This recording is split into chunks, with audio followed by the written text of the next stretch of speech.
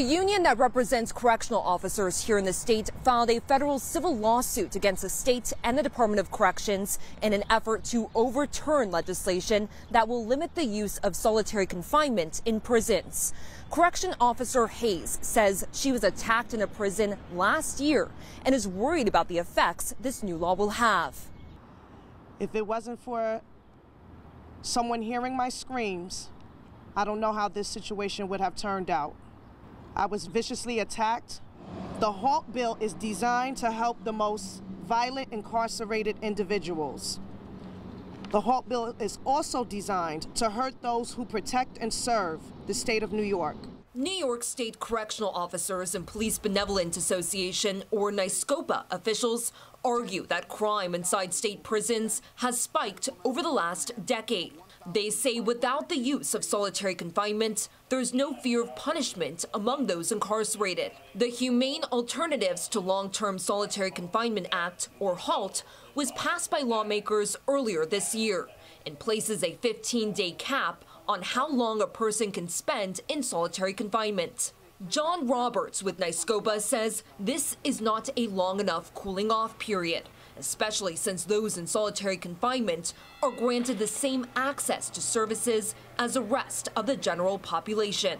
The violent, unprovoked attacks like this, inmates will receive 15 days in segregated confinement with a hot shower, an iPad, a phone that he can call with his family. He has exercise available and visitation. 15 days. Where's the justice in that for the officers? Jerome Wright with the Halt Solitary campaign points to how the HALT Act will not go into effect until next April and says if there is a rise in crime, it is hardly connected. If they're saying that violence has escalated since 2012, then actually the tool you're using is not effective. And the community, the people of the state of New York, which the phrase they like to throw out, have demanded that we go in a new direction. And that new direction is halt solitary confinement law. A spokesman for the Department of Corrections sent a statement in response saying the state has zero tolerance of any kind for violence in state prisons. However, they will not be commenting on pending litigation at this time. Reporting for Spectrum News, I'm Morgan Mackay.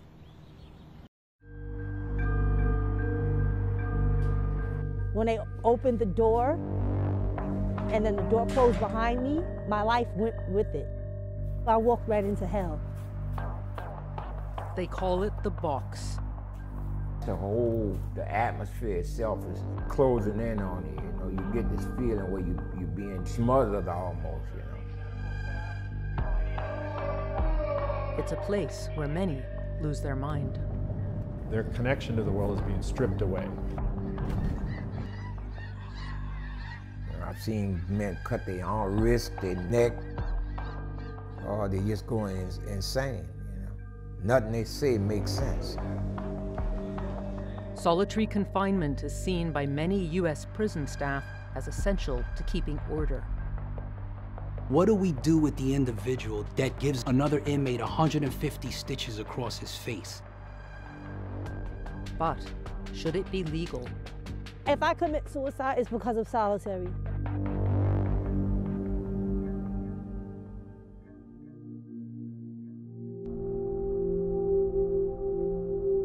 Deep South, Mississippi. I'm on my way to meet a man who spent a lifetime as jailer to the most violent criminals.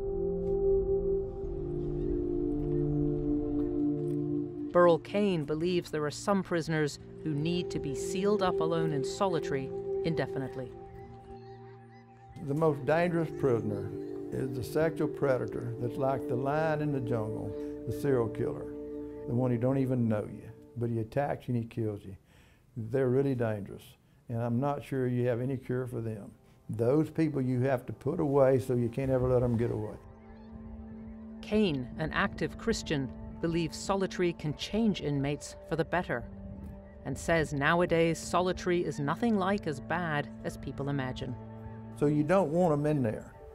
So prison, that's old-timey dungeon type thing. We don't want to do that at all. You make people crazy in there. And then you have to get out of the cell every day and have exercise, a place to walk up and down the tier and so forth. That still means 22 hours or more a day in a small cell. Organizations that monitor the use of solitary estimate over 60,000 inmates are in isolation and say the numbers have spiraled since the pandemic. Look how they the man, man. Look how they dragging him, man. The man cut both of the ribs, man. Suicides are common in prisons across America. This is contraband footage said to have been shot by an inmate in Mississippi last year. A prisoner had slit his wrists. It's crazy, man. Studies suggest that those held in solitary are six times more likely than other inmates to kill themselves. You said that was the Yeah, up there. segregation the, unit, right? Segregation unit. Can we go see inside the solitary, the, soli- It would- the it would- segregation It unit? would not be good because of COVID and all.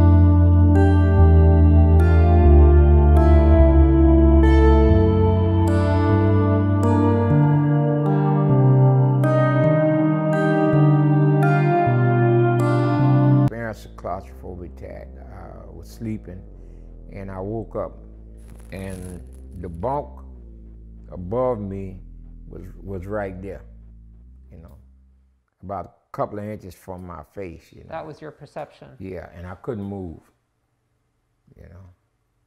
So you felt like you were being Yeah. literally I was being in. pressed down, you know, by, by the very atmosphere itself. Homer Venters worked as the chief medical officer at Rikers Island Jail, New York.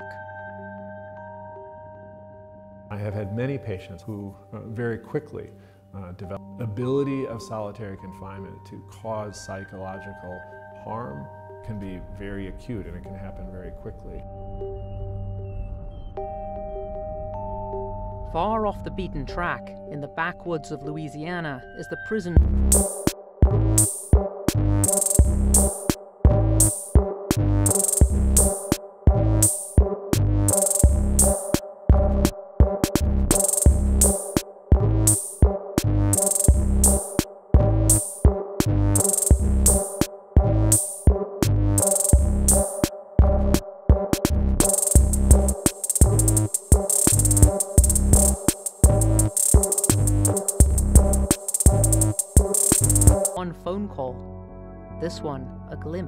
Into a closed world. How are you doing? Hello, hello. Billy said prisoners threw feces and screamed all night in solitary. He's had to fight off insanity. I've seen mentally ill people rock back and forth, back and forth. I started rocking, and then I caught myself. This is what crazy people do. Next thing you know, they're playing with feces or, or urinating on the floor. I didn't want that to happen to me. You consciously stopped yourself from going insane. Well, I don't know if that's what did it, but that's what I have done. The United Nations has defined more than 15 days in solitary as torture. Do you, what do you say about, about that? I'm not torturing them because I'm going to feed them good and we're going to try every day to get them to come out there and live peacefully with the others. But until he says that, until he wants to act right, I have no choice but to protect the others, leave him over here.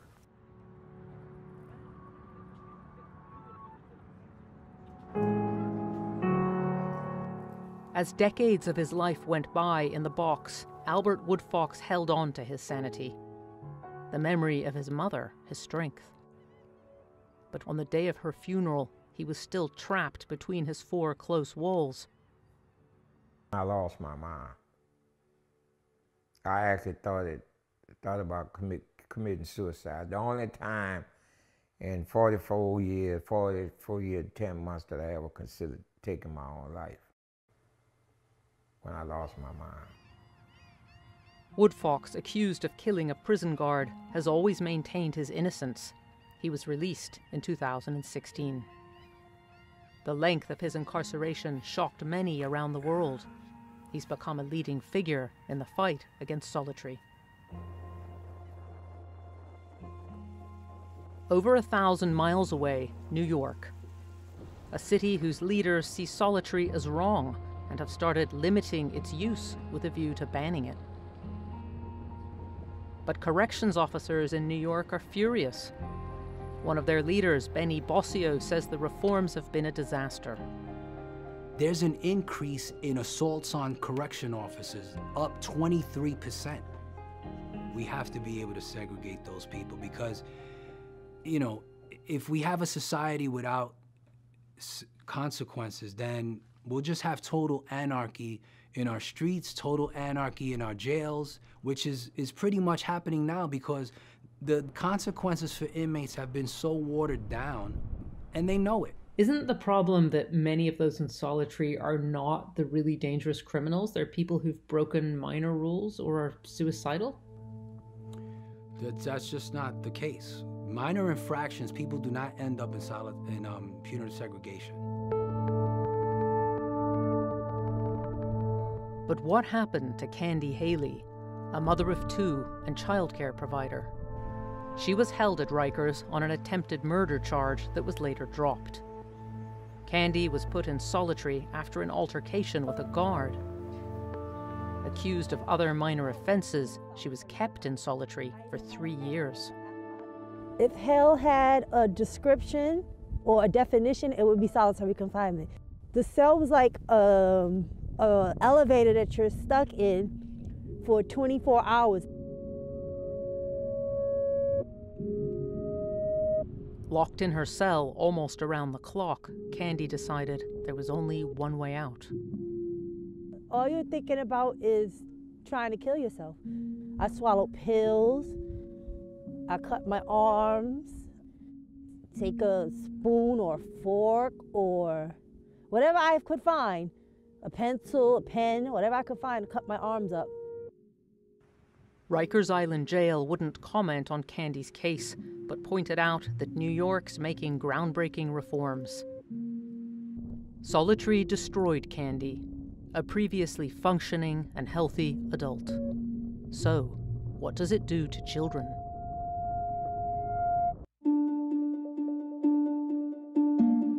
That's him. And This is Ronnie Peterson's home in Shreveport, Louisiana, and this his adopted 13 year old son, Solon. He loved to play hockey, that was his favorite sport. He was gifted with music, he loved playing guitar. He could talk to anybody and made friends easily and just wanted to have a good time with everyone. It was a Friday in February 2019. Solon, who had ADHD, had set fire to a bin at his school he was taken to a juvenile detention center. Like other children, he ended up in solitary for misbehaving. Children left in these cells alone deteriorate quickly. A few days later, Ronnie was finally allowed to see his son. I could talk to him through a little bitty four inch window and talk to him through the door and see him through the window. And you could tell it was kind of breaking him down. He was punching the wall, and his his knuckles, I remember, were a little bit bruised. We were told that he was going to get out that night or at the latest the next morning. But he didn't. This footage shows the corridor outside Solon's cell on his fifth night in solitary. In the dead of night, an officer realized Solon had hanged himself. Uh, I got a phone call at 2 o'clock in the morning saying that he was dead. Solon's parents gave permission for use of this footage. They want to highlight the horrific consequences of putting their 13 year old in solitary. I think I was more in shock than anything else to where you don't really feel a whole lot in the moment. Um, uh, you kind of go numb and you're in shock. I mean, he's a normal teenage boy, um, and he was happy most of the time. Ware Youth Center says it can't discuss individual cases for legal reasons. Research shows that in the year after release from prison, former inmates are nearly twice as likely to kill themselves if they've been in solitary. If I commit suicide, it's because of solitary, if I ever succeed. Solitary confinement is torture. I'm here with you physically, but I feel like I'm gonna wake up and it's gonna be, I'm gonna be back in solitary. Like this is just a dream because it's so unbelievable that I went through that. Benny Boscio still believes strongly that solitary is an essential tool for keeping jails safe. If you're allowed out of punitive segregation and you do not change your behavior and you what do we do with you? That's that's the magic question, right? I've been to many prison settings where uh, people come out of their cells for several hours a day. They may engage in programming and even interaction with others, but it's in a way that's secure, where they're not